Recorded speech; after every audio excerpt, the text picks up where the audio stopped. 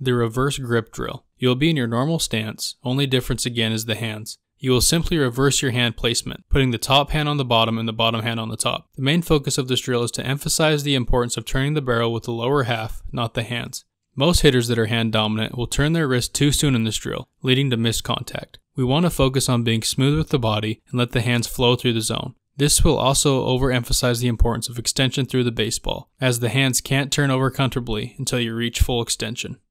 Thank you.